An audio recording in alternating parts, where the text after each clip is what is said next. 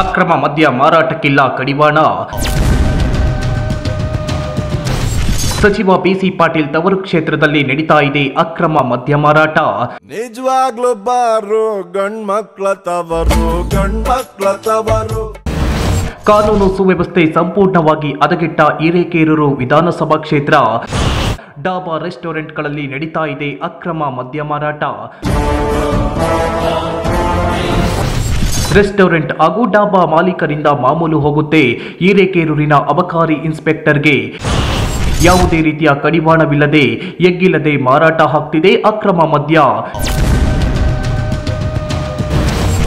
ಇವರಿಗೆ ಲೈಸೆನ್ಸ್ ಯಾವುದೇ ಪರವಾನಿಗೆ ಇಲ್ಲದೆ ಇದ್ರೂ ಕೂಡ ಮದ್ಯ ಮಾರಾಟಕ್ಕೆ ಅವಕಾಶ ಕೊಟ್ಟವರ ಅವರು ಖುದ್ದಾಗಿ public twenty four news Kannada ವಾಹಿನಿ.